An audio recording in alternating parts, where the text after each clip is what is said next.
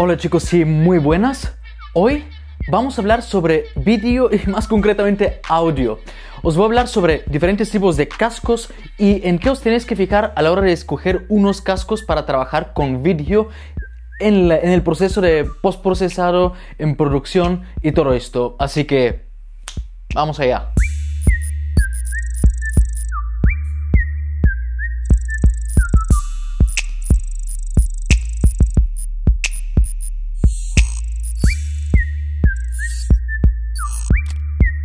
Bien, de la misma forma que prestamos mucha atención al tipo de micrófono que estamos utilizando a la hora de grabar el audio para nuestro vídeo, eh, también tenemos que prestar atención a qué tipo de cascos utilizamos. Hay muchos tipos de cascos, desde estos pequeñitos que te los metes en los oídos, a algunos medianos y otros más grandes. Y hoy te quiero hablar sobre los diferentes tipos. Hay mucha diferencia entre estos tipos de cascos y tienen una utilidad totalmente diferente. No puedes utilizar una cosa para, para lo que no ha sido hecha, ¿no? Entonces, Vamos a empezar desde los más pequeños. Los cascos más pequeños no te los recomiendo para nada, excepto en algunos casos cuando quieres conectar los cascos a la cámara y eh, monitorizar el audio. Pero incluso en estos casos no te, lo, no te los recomiendo. Tienes cascos que no son muy caros, suelen costar como 20-25 euros como mucho en, supermercados o tiendas de eh, cosas de tecnología. Y estos cascos son los más comunes y están bien, la verdad es que están bien. Es lo más barato que puedes comprar y que realmente, según mi opinión, te sirve.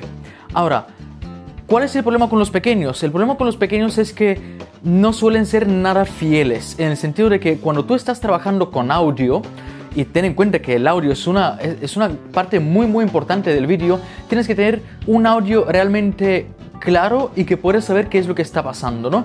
Con los cascos pequeñitos no hay, o sea, están muy lejos de la realidad lo que estás escuchando. Estos están un poquito mejor en el sentido de que muchas veces exageran lo que son los graves para que la música suene mejor, que suene bonita, que haya más ritmo y todo esto, pero tampoco son los más recomendables desde mi perspectiva. ¿Por qué? Pues porque al fin y al cabo no tienes una idea muy clara de lo que realmente se está escuchando o de lo que estás produciendo. Y por eso te recomiendo otros cascos este tipo de cascos que son, te cubren todo el oído, de hecho la oreja entra por aquí dentro, lo que hacen es aislar lo que son los ruidos externos, pero te envuelves en este audio, en el sonido que estás escuchando de ellos. No te estoy hablando de que tienes que comprarte precisamente estos cascos, sino te estoy recomendando cascos de este tipo. Pero sí es extremadamente importante prestar atención al sonido y luego a otras cosas. El sonido tiene que ser limpio y no tiene que ser exagerado de ninguna forma, ni los graves ni los agudos, sino que tiene que ser bastante equilibrado. Cascos eh, que te den ese tipo de sonido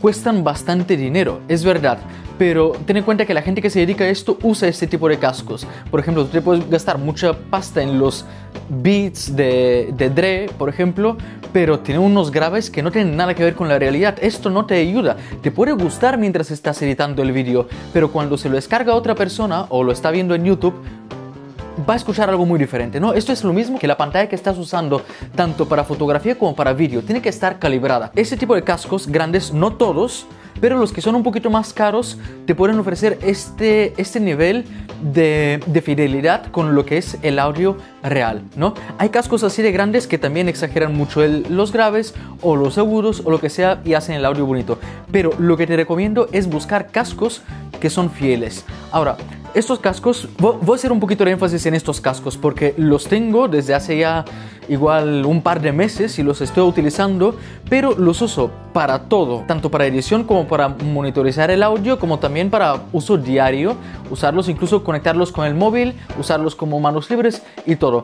Pero lo más importante que te recomiendo buscar en unos cascos es esto, el sonido, que se escuchen bien y que no distorsionen nada, ni que exageren ni que rebajen ciertas frecuencias. Y estos cascos son bastante buenos para esto, dan un sonido natural. Los encontré en la web del fabricante que se llamaba algo como Mese, no sé cómo se pronuncia esto en, en castellano, pero ofrecen tanto cascos pequeñitos como cascos grandes y se están esforzando mucho en crear algo que realmente es fiel al, al sonido y un producto muy bonito, muy bien acabado, lo puedes ver.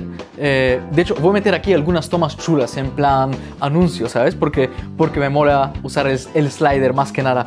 Ah, aparte de que son unos cascos chulos visualmente, que es lo de menos, pero bueno, también es un punto bueno. Pero mm, aparte de todo esto, se han esforzado mucho en el tema de calidad de audio, en la fidelidad y en lo prácticos que son. Entonces, cuando yo trabajo en el ordenador, por ejemplo, uso este cable que tiene como un metro y medio de largo.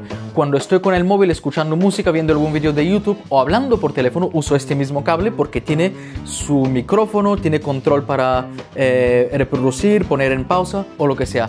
Y luego a veces en el ordenador cuando estoy trabajando de forma un poco más en plan que me tengo que mover por todo el espacio aquí porque fíjate que tengo una mesa aquí otra mesa ahí, en las dos tengo ordenadores cuando me tengo que mover uso otro cable. Uso este que no sé, son unos cuantos metros de largo y esa es la otra parte buena porque si te gastas pasta de unos cascos buenos y luego no tienes la posibilidad de cambiar el, lo que es el cable, es un problema porque tú te puedes gastar la pasta y luego que por cualquier tontería esto se estropee y no puedes cambiarlo. Entonces estos cascos simplemente se desconectan de esta forma y, conectas el otro cable o, o sustituyes este si se estropea. Pero también tiene muy buena protección. Ahora, si, si comparas si comparas estos cascos con estos en cuanto a construcción, no, no tienen nada que ver. Ah, ya te digo, esto no, es, no siempre es lo más importante. Si te puedes encontrar unos cascos con este tipo de, calidad de audio por 50 euros, cómpratelos. Desde luego, no, no lo dudes. Ahora, el tema es que es muy difícil encontrar algo por, por poco dinero y poco dinero me, me refiero por, por menos de 400, 300, 400, 500 euros. Y sí, no estoy exagerando. la calidad de audio, igual que la calidad de, de vídeo, la calidad de imagen, siempre cuesta bastante dinero. Puedes probar diferentes cascos en diferentes tiendas. Si te quieres comprar unos cascos un poco más baratitos, lo más probable es que no tengan esta fidelidad de audio. Pero bueno, cuanto más te gastes en unos cascos, mejor calidad te van a dar prácticamente siempre y más te van a durar. Esto es ah, algo súper importante. También quería chulear un poquito con mis cascos nuevos. Ya no son tan nuevos, pero bueno, mostrarlos porque me molan mucho, son bastante pijos. Pero no os tenéis que comprar algo de, de este tipo. Simplemente, fijaros, en las características técnicas de estos cascos, em, en la calidad de audio, no que suene bonito, sino que suene real. Este es mi consejo. Cuando estamos en el ordenador editando es súper importante, chicos. Ah, y, y, alguno puede decir, vale, pero mm, ¿por qué tenemos que utilizar cascos? Hombre, si ya estás sin cascos, te tienes que ir mucho más lejos. O sea, te tienes que comprar unos altavoces eh, que los llaman, no se llaman altavoces, se llaman monitores. Entonces, estos monitores son altavoces que cuestan mucho dinero. Digamos que los más baratos empiezan sobre los 300, 400 euros uno de ellos, que te dan un audio realmente, un sonido fiel. Y, y, de ahí disparan los precios mucho más arriba. Pero aparte de eso, tienes que tener un espacio preparado, eh, acústicamente bien hecho para que no haya rebote del sonido, para que no haya eco. Y es mucho lío. Entonces, el, lo mejor es utilizar cascos. Si tienes portátil o lo que sea y dices, ah, si yo voy a editar esto sin los cascos, no hagas esto, por favor, nunca hagas esto el resultado es totalmente imprevisible. No tienes ni una idea de lo que va, de lo que va a escuchar la otra persona cuando esté viendo este vídeo en YouTube o en una página web o lo que sea. Este ha sido el consejo para hoy, chicos. Espero que os haya gustado. Hacedme algunas preguntas si os interesa saber algo más sobre vídeo, sobre audio o algo así para saber más o menos eh, qué es lo que os interesa. ¿De acuerdo? Nos vemos en el siguiente vídeo y hasta la próxima. Chao.